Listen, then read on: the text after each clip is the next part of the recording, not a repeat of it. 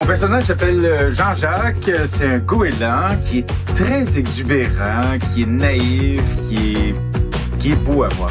Probablement qu'on est un peu peureux tous les deux. Il est très craintif. Euh, Jean-Jacques? Oui, regarde, tu flottes L'univers de Toupie Binou, c'est complètement éclaté. C'est tellement le fun, c'est ludique, c'est drôle, c'est coloré. On retombe en enfance euh, carrément. Je crois que je suis un peu coincé, là.